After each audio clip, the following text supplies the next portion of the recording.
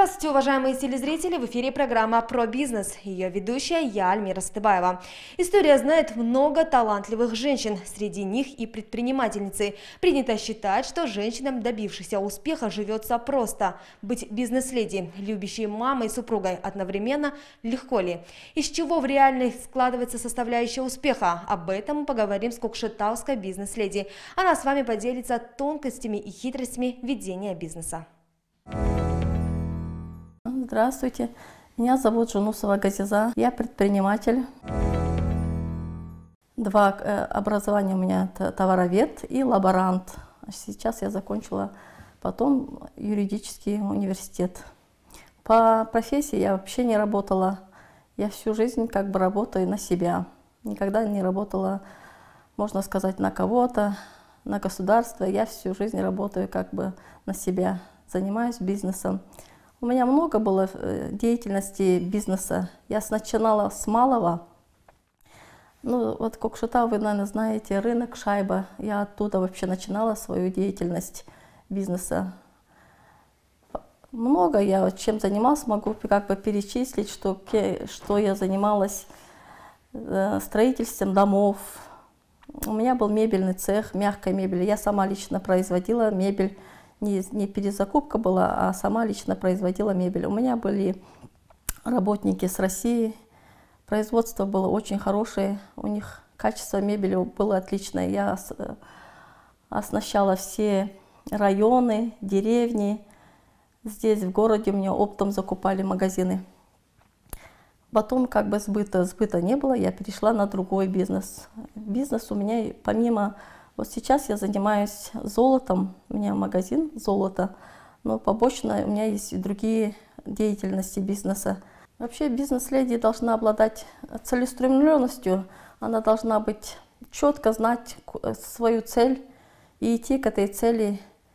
Дисциплинированная должна быть бизнес-леди. И тогда все идет как бы вперед. Надо себя дисциплинировать. Женщины мы намного это, более дальновиднее и многосторонние. Мы как бы смотрим на э, разные стороны бизнеса, мы смотрим разносторонне. Если мужчина смотрит в одну только сторону, мы смотрим разносторонне. Вот я даже занимаюсь бизнесом не только вот в одном направлении, у меня есть еще другие направления бизнеса. Меня пригласили в Астане на республиканский конкурс «Бизнес-леди Казахстана». Я участвовала в нем заняла номинацию «Леди Идеал». Ну, можно сказать, первое место, потому что я была, меня первые зачитали, и как бы там подарки, много, очень много было подарков. Вообще интересный был конкурс, он э, три, как сказать, три этапа было. Первое – это рассказать о себе, второй э, на эрудицию, и третий конкурс – это творчество, ну, что-то спеть, станцевать, рассказать стихотворение, так, в таком роде было. Очень этот, понравился этот конкурс. Для меня он много что дал. Знакомство с людьми интересными. Мы поделились опытами с друг другом. Э, это были участницы со всех городов Казахстана. С Кокчетава я одна была, ну, там со всех городов по одному человеку. С Шимкента, с Караганды, с Алматы, с Астаны. Вот так с каждого города по одному человеку, по одной женщине бизнес-леди приглашали. на самом деле очень яркая бизнес-леди. Приехала с нашего города Кокшетау. Поддерживаем всех участниц. Громче, громче. Наши президент-спонсоры номинация «Леди Идеал». На самом деле идеальная женщина. У нее все в порядке, у нее все есть. Все, что нужно было сделать для женщины, у нее все осуществилось. Раз в год я езжу, отдыхаю за границу, и оно мне хватает для отдыха. Работа, я говорю, работа вот она мне в удовольствие, она мне также приносит вот отдых. Я работаю, отдыхаю, можно сказать. Она мне не напряг, работа моя. Я еще строю дома. Здесь, в этом городе, я построила шесть домов. Люблю вот строиться. Меня никто не заставляет, вот я люблю строиться. У меня дети, муж, госслужащие. Они все в госслужбе, я одна, бизнес-леди. И все везде как бы я успеваю. Угу. Они меня поддерживают. Моя вот семья меня во всем поддерживает. Золото – известный во всем мире драгоценный металл. Его запасы по сравнению с другими металлами Земли малы.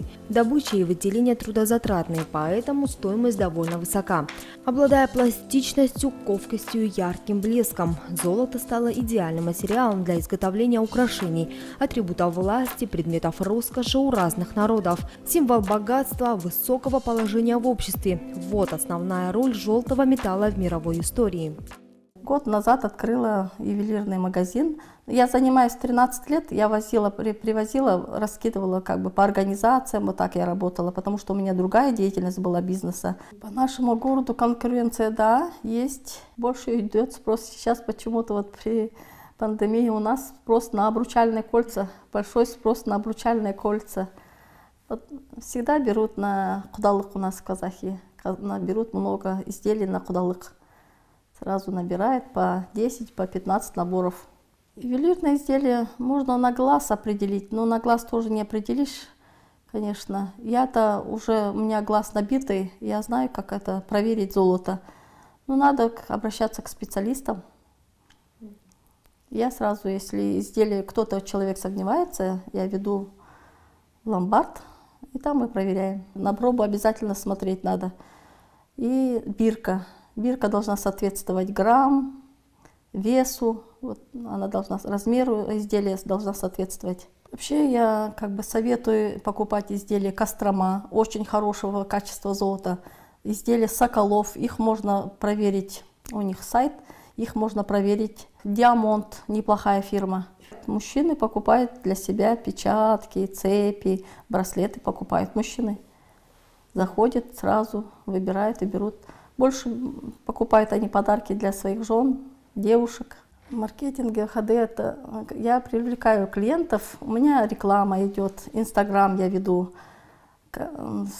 Каждый день закидываю, всегда привожу что-то новое. Я часто привожу акции, даже я провожу акции, где кто на лайки дарю серебряные наборы.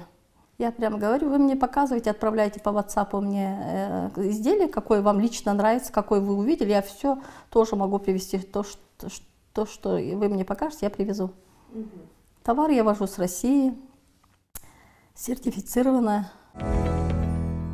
У каждой женщины должен быть жемчуг. Это самое оригинальное украшение для женщины. Смотреть надо на пробу, какая проба этого изделия. Раф Топаз вот он идет кольцо, сережки и кулончик. Золото тут твердое, пробу поддерживает она. Даже выше поддерживает, чем стоит проба. Рауф Топас называется камни. Рауф Топас качество очень отличного качества. Всему учат сейчас в Атамикене. Это месяц учебы. Вроде как бы я пришла, и говорят, вот такая женщина пришла, чему мы можем ее научить? Нет, там многому научилась. Как витрину поставить, как э, луки сделать, всему-всему учит, как бухгалтерию учит, э, налоги как сдавать, ну всему. Для начинающих бизнесменов мой совет. Начинать всегда надо с малого. Не надо начинать вот так, что потом это прогореть где-то. Потихоньку надо свой начинать бизнес с малого. Без кредитов, желательно без кредитов. Блеск золота манит и привлекает человека на протяжении многих столетий. Этот металл ассоциируется с солнцем, теплом и красотой.